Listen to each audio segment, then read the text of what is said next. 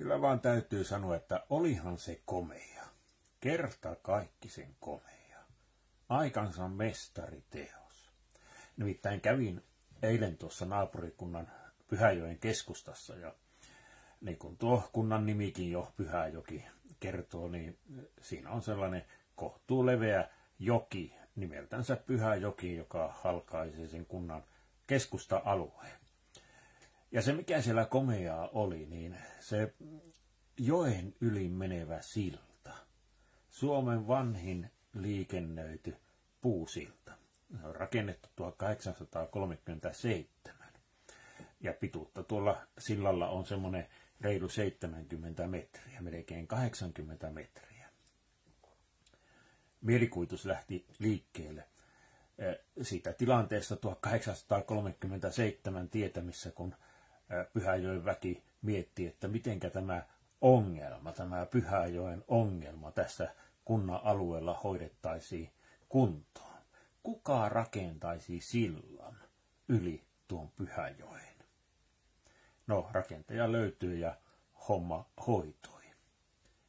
Eikä tuosta ajatuksesta minun korvien välissä kovin pitkä matka ollut siihen ajatukseen, että sehän on vähän niin kuin kuva näistä tästä kristillisyyden asioista ja ihmisyyden asioista.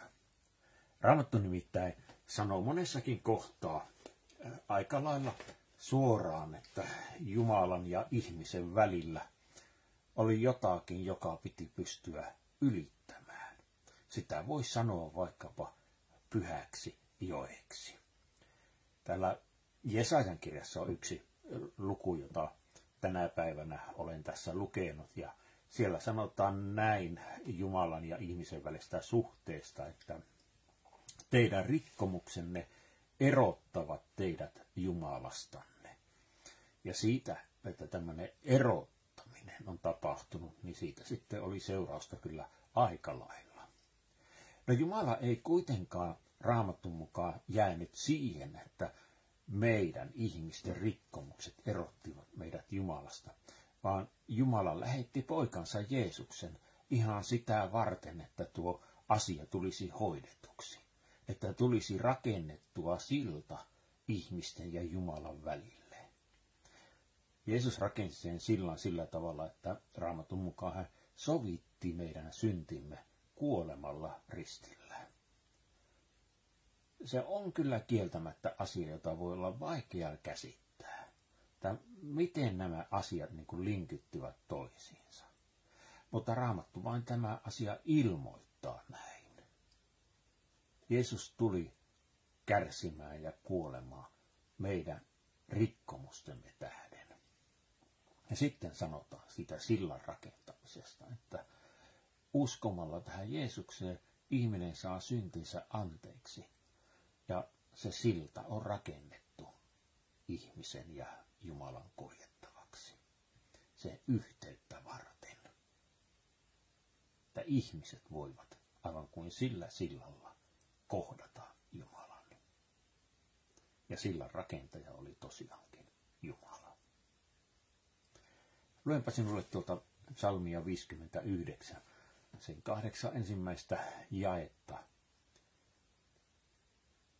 ihan mietittäväksi. Näin se alkaa. Ei Herran käsi ole lyhyt pelastamaan, eikä hänen korvansa kuuro kuulemaan.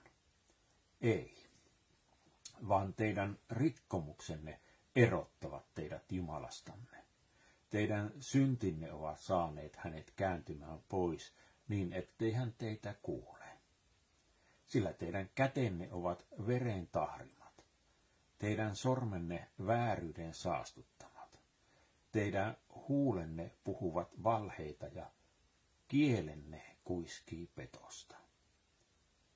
Kukaan ei käy oikeutta rehellisesti.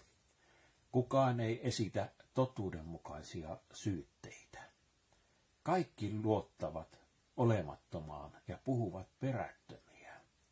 Kaikki kantavat kohdussaan pahaa ja synnyttävät turmia. Myrkkykäärmeen munia he hautovat, hämähäkin seittejä kutovat. Jos niitä munia joku syö, hän kuolee. Jos niistä jokin särkyy, siitä kuoriutuu kyy.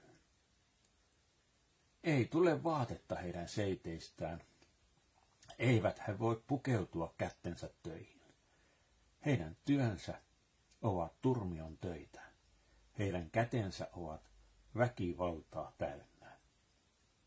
Heidän jalkansa rientävät pahoihin tekoihin, he kiiruhtavat vuodattamaan viatonta verta. Heidän ajatuksensa ovat turmion ajatuksia. He jättävät jälkeensä tuhoa ja hävitystä. Rauhan teitä he eivät tunne. Oikeus ei johda heidän askeliaan. He astelevat mutkaisia polkuja. Joka niitä kulkee, ei saavuta rauhaa. Niin, ja tuohon Jesajan aikaan, tuhottoman pitkän aikaa sitten, nämä ajatukset olivat ihmiskunnan kohdalla totta. Niiden toteutumista ja totuutta saamme tämänkin ajan elämässä nähdä. Mutta suurin totuus on juuri tuo, että Jumala rakensi sillan. Ja sillä sillalla Jumala on kohdattavissa. Oikein hyvää alkuviikkoa.